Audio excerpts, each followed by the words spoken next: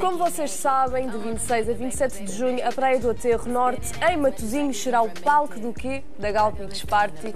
E podemos anunciar-vos que os bilhetes para o campismo já estão à venda. Pois é, o campismo Orbitur Angeiras vai receber mais uma vez os festivaleiros da Galp Beach Party que ali hum, escolheram para noitar, pois é, com acesso à piscina, água quente, todas as condições de um parque de campismo de topo, não é? Será também disponibilizado um transfer gratuito entre o parque de campismo e o recinto para quem apresentar a pulseira do campismo.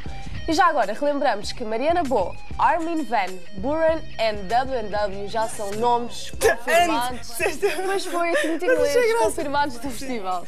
É E pronto, olha, ah, ainda bem que ficaste tu hoje com os nomes difíceis. Pois no é. Nós Alive foram confirmados os London Grammar. Disse bem bem. Olha, Pronto, é parabéns. Joana. Ah, pronto, eles, eles vão estar no festival no dia 9 de julho, no Palco Sagres, portanto comprem bilhetes. Não viste o que é que eu estava a fazer? O quê? Desculpa, eu Estavas a beber água? sem água. Sem nada lá dentro.